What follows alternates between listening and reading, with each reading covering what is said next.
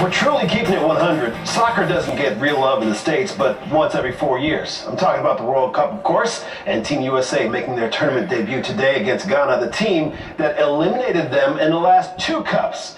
Somebody get this dude some lotion. The Americans get things popping right off the rip. Less than a minute in, Nacogdoches native Clint Dempsey